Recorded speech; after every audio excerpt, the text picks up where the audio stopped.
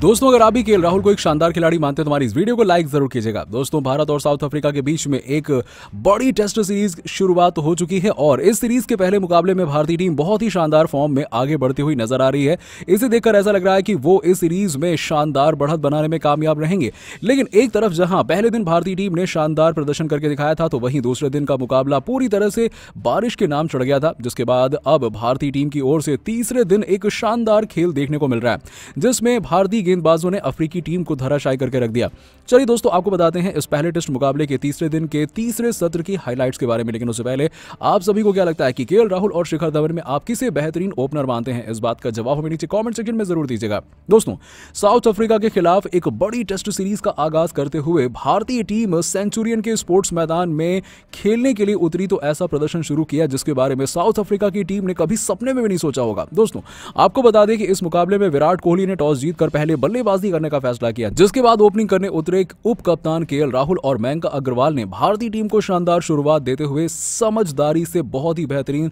साझेदारी करी और पहले सत्र के अंत तक तिरासी रन का स्कोर खड़ा कर दिया। वहीं दूसरे सत्र में इन दोनों ही बल्लेबाजों ने अपनी सूझबूझ से पारी को आगे बढ़ाया और पहले विकेट के लिए भारतीय टीम की शर्त की साझेदारी पूरी की। हालाँकि 117 रन के स्कोर पर भारतीय टीम को पहला झटका मयंक अग्रवाल के रूप में लगा। इसके बाद के राहुल ने टीम की ज़िम्मेदारी को संभालते हुए स्कोर को आगे बढ़ाने का काम किया और दूसरे सत्र में ही कप्तान कोहली के साथ मिलकर भारतीय टीम को मज़बूत स्थिति में पहुँचाने का काम किया और दोनों ने मिलकर भारतीय टीम को मज़बूत स्थिति में पहुँचाने के लिए काफ़ी समझदारी भरी बल्लेबाजी दिखाई, जिसके चलते भारतीय टीम का दूसरे सत्र की समाप्ति होने तक स्कोर एक सौ सत्तावन रन पहुँच गया था। इसके बाद तीसरे सत्र में विराट कोहली के आउट होने के बाद अजिंक्य रहाणे और के राहुल के बीच में हुई अर्धशतकी साझेदारी की बदौलत। पहले दिन का खेल समाप्त होने तक भारतीय टीम का स्कोर दो सौ बहत्तर रन पहुँच गया था, जिसमें अजिंक्य रहाणे इक्यासी गेंदों का सामना करते हुए 40 रन बनाकर नाबाद थे तो वहीं के राहुल भी 248 गेंदों का सामना करते हुए 122 रन बनाकर मैदान पर डटे हुए थे। दोस्तों, आपको बता दें कि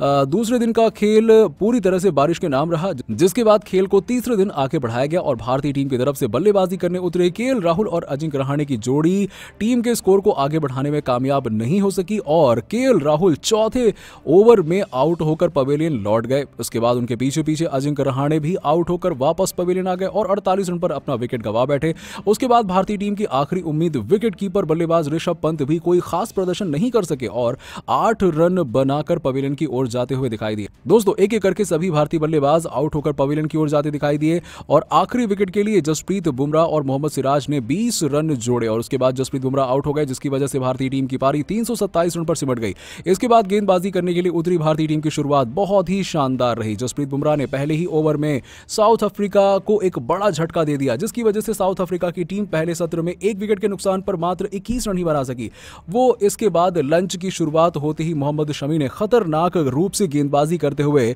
कीगन पीटरसन को बोल्ड करके अफ्रीकी टीम को दूसरा झटका दे दिया। इसके बाद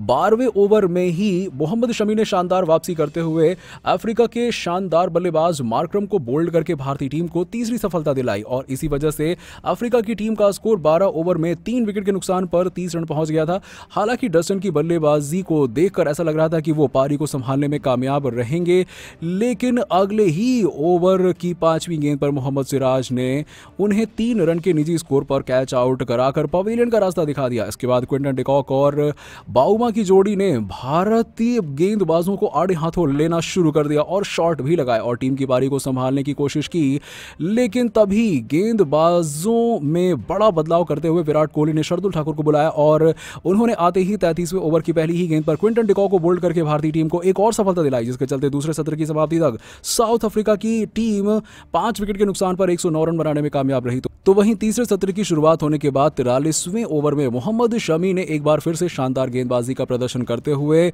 मुल्डर को ऋषभ पंत के हाथों कैच आउट कराकर छठवीं सफलता टीम को दिलाई, जिसके बाद बल्लेबाजी करने उतरे मार्को जेनसन ने काफ़ी डिफेंसिव तरीके से विकेट को रोकने की कोशिश की। तो वहीं पैंतालीसवें ओवर में मोहम्मद शमी की गेंद पर चौका जड़कर बाबूमा ने अपना सोलवा अर्धशतक पूरा किया। लेकिन मोहम्मद शमी ने उनकी इस पारी को अगली ही गेंद पर समाप्त कर दिया और इस मुकाबले का अपना चौथा विकेट हासिल किया और उनकी शानदार गेंदबाजी की वजह से अफ्रीकी टीम ने डेढ़ रन के पहले ही अपने सात विकेट गवा दिए, जो कि भारतीय टीम के लिए बहुत बड़ी सफलता बन सकता है। दोस्तों, अगर भारतीय गेंदबाज इसी तरह का प्रदर्शन करने में कामयाब रहते हैं तो भारतीय टीम इस मुकाबले में दूसरी पारी के लिए कम से कम सौ रन की बढ़त आसानी से ले सकती है, जो कि अफ्रीकी टीम के लिए बहुत बड़ी मुश्किल बनने में कामयाब होगा। लेकिन दोस्तों, आप सभी को क्या लगता है कि क्या भारतीय टीम इस मुकाबले में जीत हासिल करने में कामयाब हो सकेगी या फिर नहीं? इस बात का जवाब होने कॉमेंट सेक्शन में ज़रूर दीजिएगा और ऐसी ही खबरों के लिए सब्सक्राइब कीजिए हमारे यूट्यूब चैनल को। धन्यवाद।